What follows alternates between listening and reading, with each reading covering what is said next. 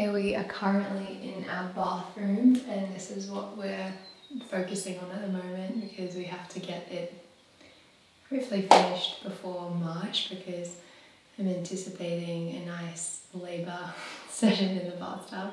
So today we're going to be using the Bauwerk paint which I've started doing already.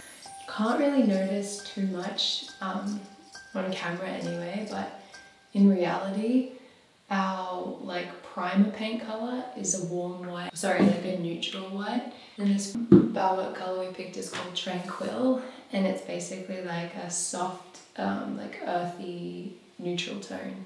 Basically just provides texture and depth to the wall while making it like soft and matte, which actually makes a huge difference when you when you come in and look at the um when you come in and look at the textures. So is a lime wash, so it has like, you can like physically see the pigments um, and also the lime in it. So you can see all these particles have to be stirred together.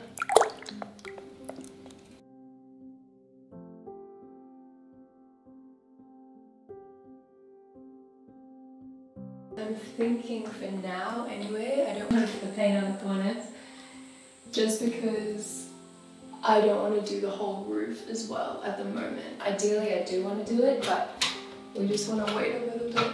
Oh, oh no, I'm not tall enough. Can't reach that, so I'm going to do these walls instead because I have to anyway, I have to get it all done. This cloth is to just wipe up any excess paint that falls, which happens a lot. Um, I haven't put a top or anything down just because I don't have one and I just want to get started. so that's the reasoning for that. But ideally, you would protect your surfaces and put a top down, not be so careless. But not happening today. So I'm just getting straight into it.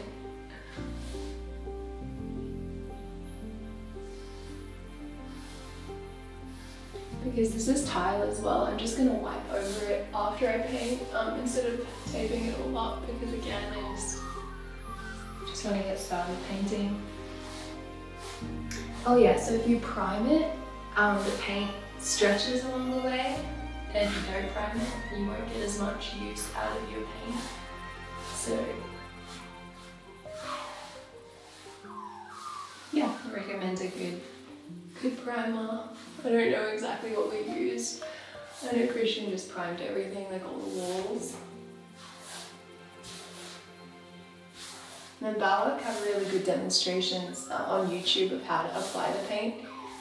Which I would recommend watching if you're going to get this for your home. Basically you paint in like little cloud sections um, and spread the paint out and then kind of join each cloud together so it merges effortlessly. And the cool thing about it too is that you paint in layers. So like the first layer is quite um, transparent once it dries. And each time you do the layers, you can kind of gauge what finish you like. So if you like quite a blotchy finish, you can only do one to two layers. Or if you like it blended, um, the third layer does that really nicely. I think with what I'm doing, I'm gonna keep it at Actually, I've done two now and it's still a little bit streaky. So I might even do a third just to really blend it all. But again, like, just comes down to time these days. I like to have as much time as I can with Alaska. Like, really dedicated to spending like time, like playtime with him, so I don't have all the time, especially to do things like this which of course he, want, he would want to get involved in and like touch and do it as well. So try and get onto it while he's napping. Oh, I did a layer there too, so that'll be cool to go over it and see how the colour turns out.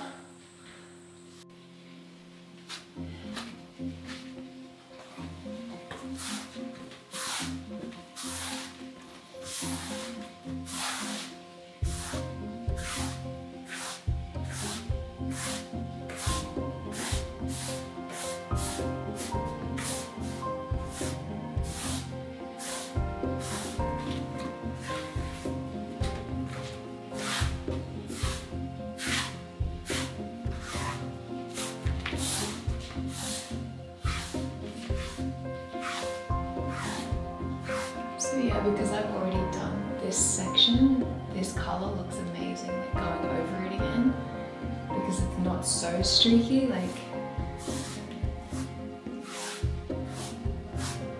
the bristles are just blending everything together, but then it still has like the depth within the opacity of it. I'm really happy. I'm like in love with this color. I think we're gonna do the whole bedroom this color as well. I don't know if anyone else is like this, but I get really sold on the names of colors, like when I'm shopping, um, especially online because you can't physically see the product. But when it's described as a really nice color, I just want to get it. And like I don't mind little bits of lime um, that aren't smoothed out completely, just because it adds like 3D texture. Um, on top of the 3D texture that's already there. I guess that's the whole point of having like a natural paint like this. Bring that in. Oops.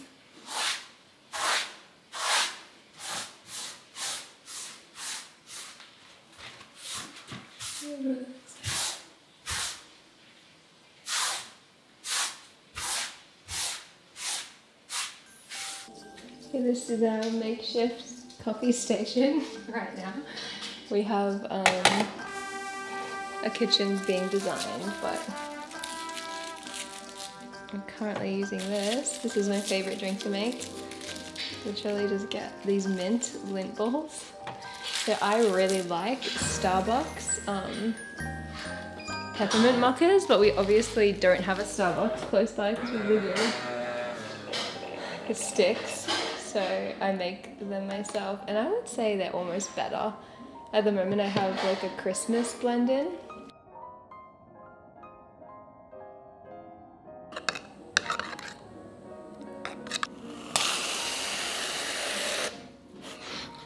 Came out way faster than I thought it would.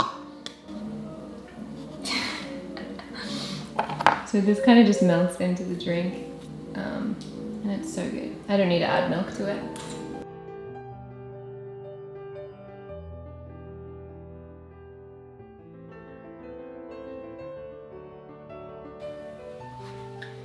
So you can see there's actually, well I don't know if you can see so clearly on the camera, but there was a layer here before that I did like months ago. And I'm just kind of blending the second layer in over it now. And this takes me back to school and how therapeutic I felt when I was in art class. Like, painting is so needed. or just to do like repetitive tasks like this in life. It's just so necessary.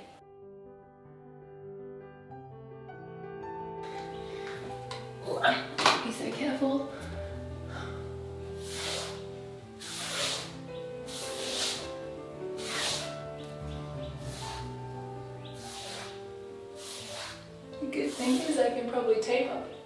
Around this area anyway because I at least I can reach it on this bench.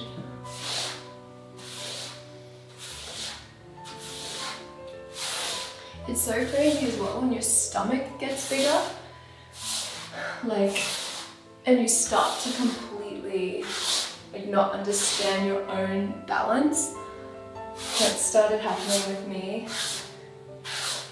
I just like am all over the place in terms of, and I know that sounds really dangerous to me, like describing that while I'm standing up here. Um, but I feel pretty sturdy. No, but yeah, it's definitely a crazy thing in pregnancy when when the baby really starts putting on weight. Um, and your body quickly changes like in your balance and you just don't know like what's too heavy for your own body.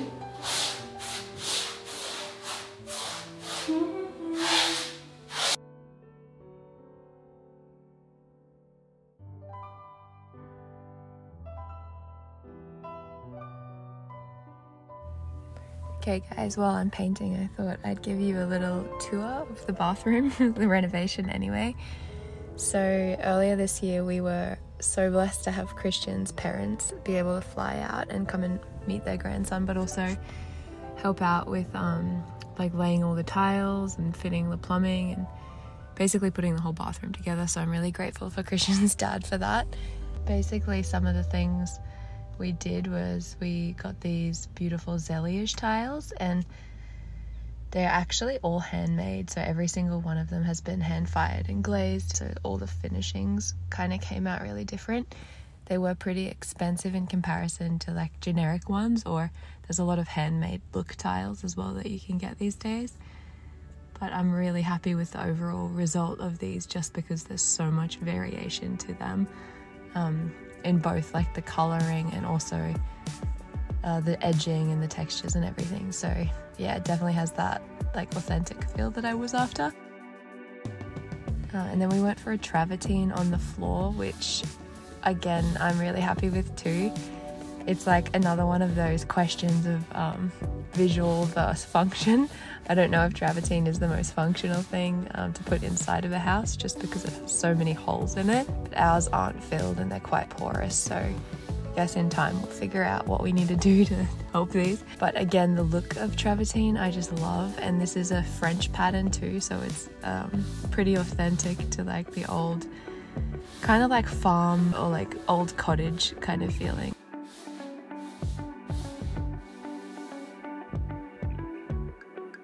We got these from a place called uh, the Lighting Collective. I think they're based out of Byron Bay.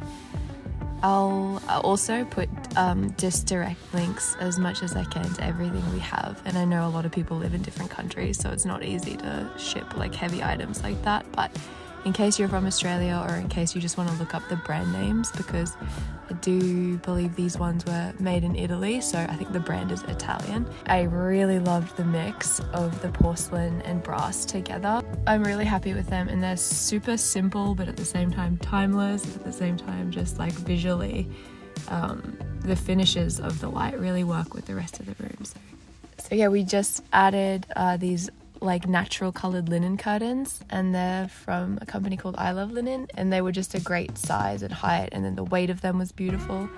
We really needed those because the window was so giant in there and people can easily not that we have people around but if there was someone there they could see in quite easily so I'm happy with that and I always think just a timeless natural linen looks awesome and it's a really easy thing to match throughout the rest of the house. And we also have the brass uh, taps, which were something also that I really wanted to do. Uh, and this one's called polish to plate, I believe. It just means that it comes polished, but then it wears over time, and the oxidization of the brass happens naturally. Now, we have a bore water currently, so the water that runs through our taps has a lot of different like iron and magnesium different minerals so our taps have aged very quickly like they've only been in here for less than a year and they already look like they're from the Titanic. so, but I'm really happy with that. Like, I love that finish. So, this is the third coat of the paint. Um, again, like, once it's just painted on, it's gonna look a lot darker and then it dries off. But what I'm just trying to do on the edges is really feather out them as much as I can just so that there's no harsh I mean, I don't mind a bit of a hard edge because then it shows like the texture, but but ideally having like the feathered layering is is probably the nicest the nicest look uh, for this style.